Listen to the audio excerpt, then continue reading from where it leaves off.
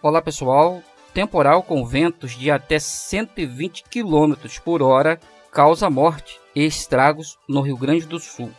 Um temporal com rajadas de vento entre 100 e 120 km por hora atingiu ao menos 22 cidades do estado do Rio Grande do Sul entre a tarde deste domingo e a madrugada desta segunda-feira.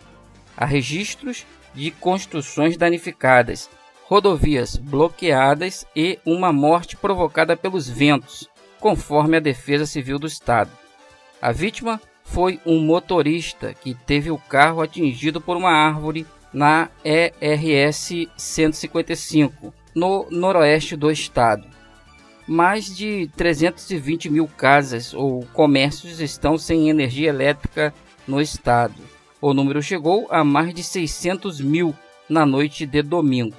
Porto Alegre amanheceu com várias avenidas bloqueadas por quedas de árvores, galhos e entulhos.